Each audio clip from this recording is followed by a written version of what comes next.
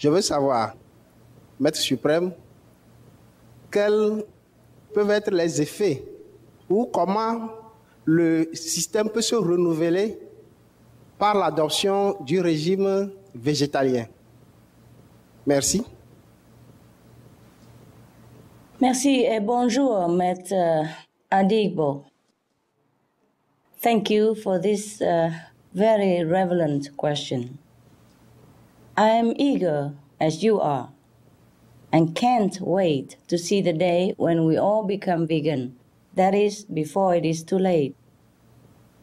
When we live our lives with a vegan diet, we send out a powerful statement that we want life. And so we will beget life and protection to continue with our life. If we become vegan as an individual, we can remedy the disasters that otherwise might affect us personally. If the world becomes vegan as a group, we can remedy the disasters that affect us globally. They will avert us or be minimized and rendered harmless. The planet will begin repairing itself in astonishing ways that scientists would be surprised. For example, the ice will stop melting and return the way it was. Green life will appear again. The oceans will be healed as the rainfall and temperature begin to regulate themselves again. Produce restore balance. You see, we have the energy to change everything. We have the power to dictate what happens around us, but we must use it. We must use it for the sake of all.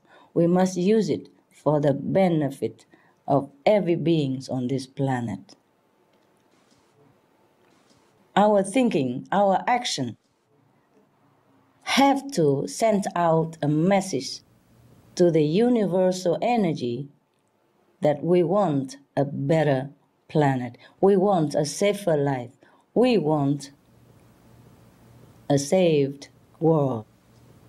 Then the universal energy will do just that. But we have to act in resonance with this energy. You see, if we want good things, and we have to do good. If we want life, we have to spare life. So the good energy we create can do these things and more wonders.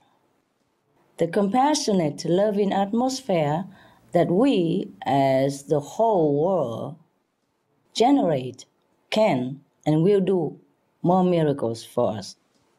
I know it sounds incredible, but it is possible. It is the fact. We create everything that we want. If we live but in accordance with the law of the universe. Such is the power of just being vegan, because that means we spare life, we want life, we want constructive energy, we don't want destruction. So, vegan is the answer. This is something all Africans and all citizens of the world can do. Be vegan, be a world saver. Thank you very much for your question. What this world can be. The world can be what we make it to be. And we will make it a vegan world, a compassionate world, a peaceful world, and a safe world. Thank you, sir, for your question. Thank you, mate.